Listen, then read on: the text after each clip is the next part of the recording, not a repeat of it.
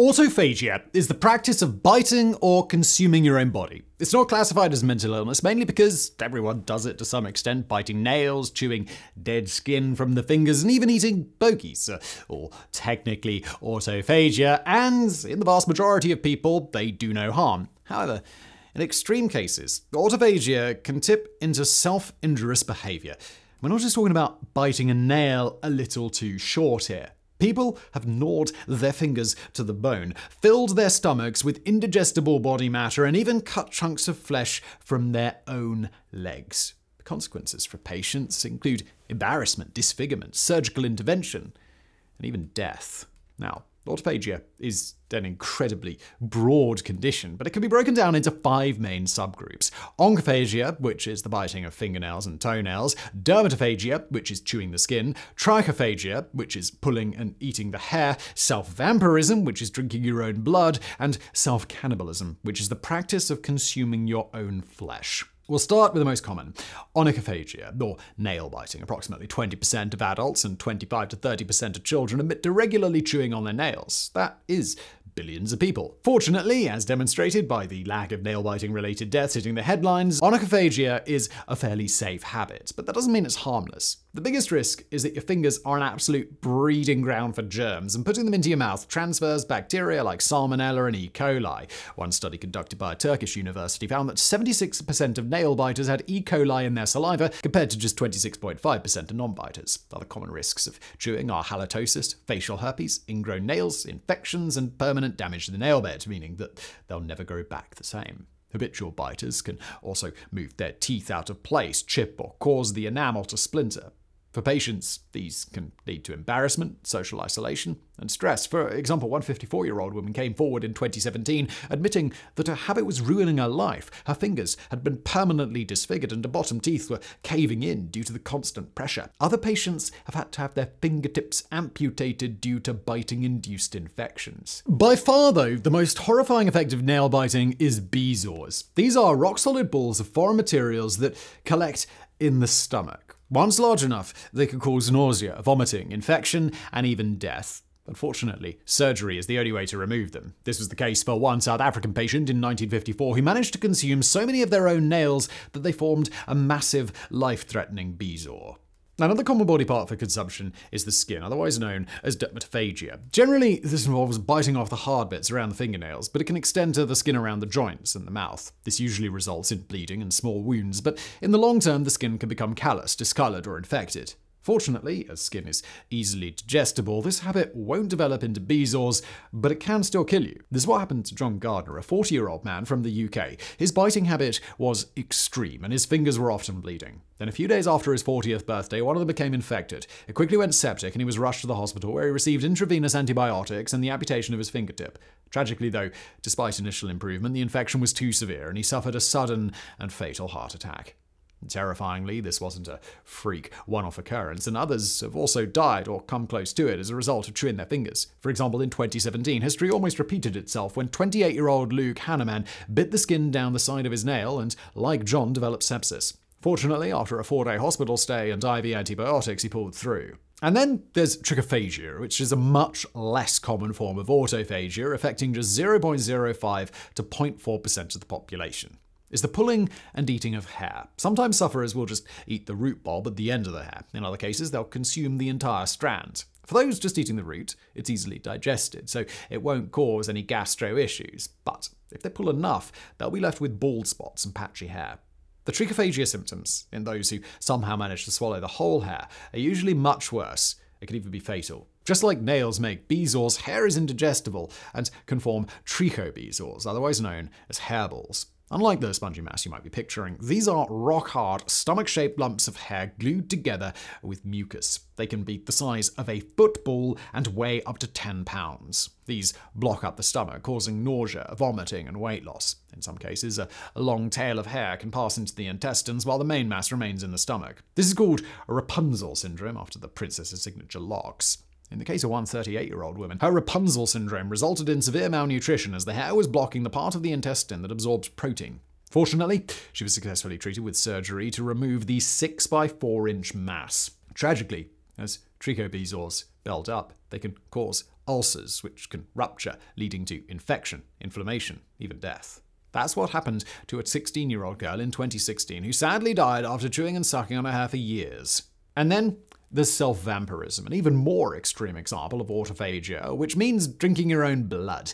Now, don't worry if you've ever sucked on a cut to quickly remove the blood, that's a fairly common reaction, and you won't be accepted into any of the self vampirism communities for that one. People generally practice the act by removing blood using a needle and collecting it in a bag, just like at a standard blood donation. However, others will cut themselves deliberately to suck and drain the blood. For example, the first red flag raised by child molester and suspected serial killer Nathaniel Bar Jonah was picking at scabs to create a festering wound and then sucking out the blood. He started at just six years old. Of course, not every person who takes part in self vampirism is going to go down a dark path. There are plenty of examples of people who've done it out of curiosity or even for animal rights. One woman, Gwen van der Zwaan, famously drained her blood and used it to create a batch of blood sausages which she dined on with a consenting friend. Mixed with lentils, tomato puree, soy sauce, and herbs, the two concluded that the texture was good and the spice level was perfect, uh, but she'd gone too heavy on the soy, so they were a bit salty. In another example, vegan Jamie Lee Tate decided to use his blood to whip up a batch of meringues. His logic was that he wanted a taste of what had been missing, but he didn't want to compromise his vegan ethics, so the only source of ethical animal products available to him was himself. Unfortunately, his experiment was unsuccessful, and he described the resulting dessert like this.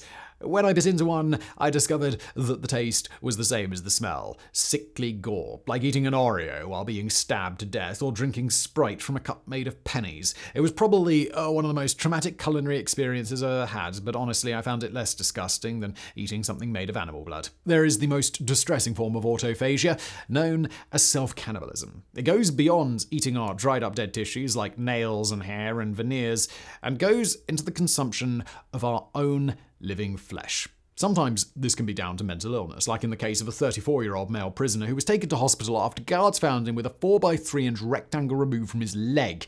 He'd cut it out with a knife and then eaten it an hour later. Tragically, although he had a history of self harm, the prisoner provided no psychiatric care. Unsurprisingly, it turned out that he had an undiagnosed psychiatric disorder and was transferred to a closed psychiatric ward for care. Another man, Kurt Kelly, used self cannibalism to attempt to outsmart police officers. He was a drug and gun dealer from Florida whose weapons had been used in 15 murders, and he managed to evade capture for six months following a probation violation. So, when he was finally arrested, he did everything he could to convince them that they'd got the wrong guy. He lied about his name, tried to persuade them that he was his brother, and then, oh, when he heard them talking about getting out the portable fingerprint scanner, he chewed off his own fingertips. Of course, he was still identified and only succeeded in earning himself another charge tampering with evidence. In other cases, like with the blood, people just get curious. As eating other people is usually a criminal offense, they decide to eat themselves instead. This was the case for one 38 year old man whose foot was amputated after a motorcycle accident. He asked doctors to return it to him, took it home, and put it in his freezer while he decided what to do with it. Initially, he considered taxidermy or freeze drying, but on hearing the price, he settled on taking a plaster cast of one part and eating the rest. Once this was decided, he later explains My friends and I always had this joke. If you could try human flesh in an ethical and healthy way, would you? And we always said, Of course. Well, the opportunity came up, and I called them on it. Fortunately, one friend's boyfriend was a chef, and three weeks later, he arrived to prepare the foot, marinating it overnight in spices and lime juice. The next day, the 11 friends sat down to brunch and enjoyed a main course of human foot tacos. I taste like buffalo, he later recalled, but chewier, super beefy, and a little fat. We weren't looking to go all Hannibal and get gourmet just to make it so no one gagged.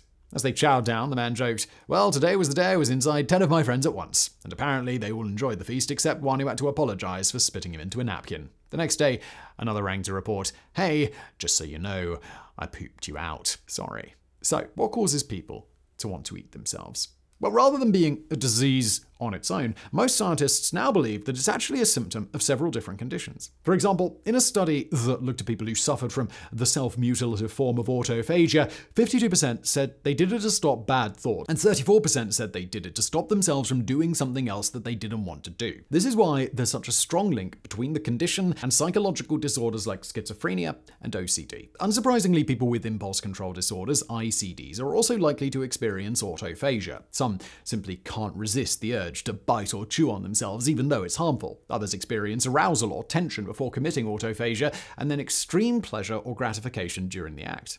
Other conditions that can trigger the disorder are anxiety, stress, depression. Obviously, it's fairly common to see someone bite their nails when under pressure, but some individuals take it to the extreme. For example, in 2008, a 28 year old man from New Zealand, referred to as Mr. X, experienced a personal crisis that led to depression, insomnia, and intrusive thoughts about cutting his fingers off. A year later, he gave in, tied a shoelace around his little finger as a tourniquet, and sliced it off with a jigsaw. He then fried it with vegetables and ate it. Mr. X is now infamous as the only known case of self cannibalism to occur in New Zealand. Treating autophagia depends on the causes. Gloves, bitter nail varnish, and chewable plastic rings can be useful in mild cases, but where the damage is extreme or self-mutilative, antidepressants, antipsychotics, cognitive behavioral therapy, and or habit reversal training are usually needed. Uh, However, some people don't seek help and wish to continue their autophagia habits undisturbed, and huge online communities have sprung up around the practice. After all, eating yourself is less likely to land you in prison or with HIV, hepatitis, or E. coli than eating a stranger. One Latvian artist, Arthur Berzinsh, even used the act to create a neo-conceptual performance where two people had their flesh sliced off, fried in a pan, and fed to them. Unsurprisingly, the piece was met with criticism and cries of promoting illegal cannibalism. Berzinsh brushed off the accusations. After all, the participants were only eating themselves, which isn't illegal. He stated, maybe fingernail gnawing or snot devouring can also be considered a crime.